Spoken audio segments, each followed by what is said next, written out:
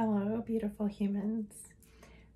So today I wanted to share something that was brought to my attention by one of my friends that I've been working with. I was sorting through a heartache that he's going through, a breakup and, you know, struggling, and that's what I enjoy doing.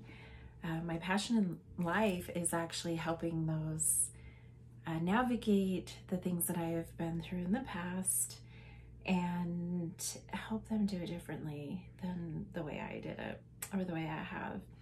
Um, also, I work a lot with helping with abusive situations, domestic violence.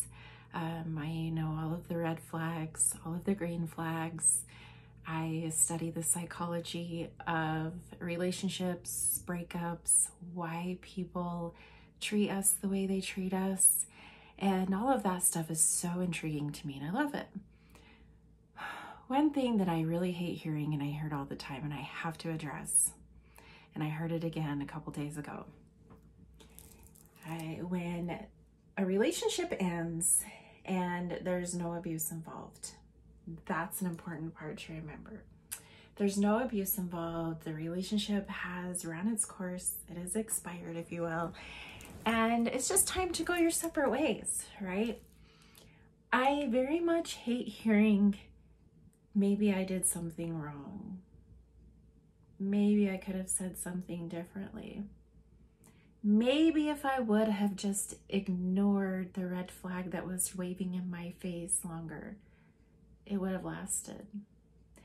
Maybe if I were just to relax and put up with the things I don't like, the things that are on my list that I don't want. Maybe if I just accommodated that person more, it would have lasted. Let's talk about this, ladies and gentlemen. No, no, no, no, no, no. You are worth everything you are seeking you can have any partner that you want that gives you everything you want. Don't settle. Mm-mm. It sucks for a minute to find out that the person that you've been spending time with doesn't have all the things that you are seeking. Or maybe you don't have all the things that they're seeking. It can be tough. Breakup sucks. But guess what? It just keeps getting better. Just keep going. Keep striving to find that partner. Keep striving to have exactly what you were seeking. And also, one more thing if you have been in that abusive relationship, I better not ever hear you blame yourself. I better not ever hear anyone say, if I would have just acted differently, maybe he or she wouldn't have been abusive. They said it was my fault, so I'm sure it was. I could go on and on about this one. Don't do it. Don't ever question yourself. If you are staying true to your heart, true to your soul, and true to what you're looking for, you will have it. And it isn't your fault. We cannot control other people's behaviors. People project onto us, even their partners, how they feel about themselves. I know, seems simple, right? It seems so much more simple than the way it makes us feel inside.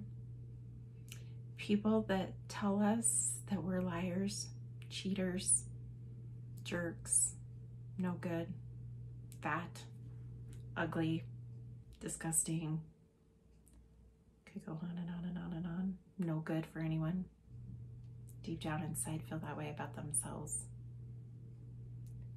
No, it isn't you. It's not your fault. Relationships end, people change, red flags get hidden. And guess what? It's okay. It's going to be okay. Heal that pain, heal that stuff. Move on.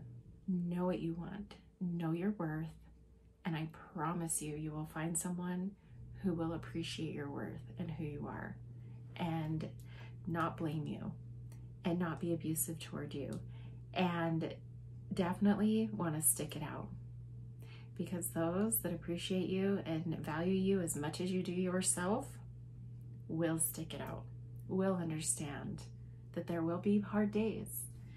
There will be good and there will be bad, but it'll all be worth it. I hope you all have an amazing day. And again, love yourself first. And don't you ever, ever do the blame, shame, or guilt game. I don't want to hear it. I don't want to see it.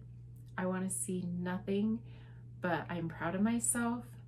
I am amazing. I do value myself. And I got this. Bye.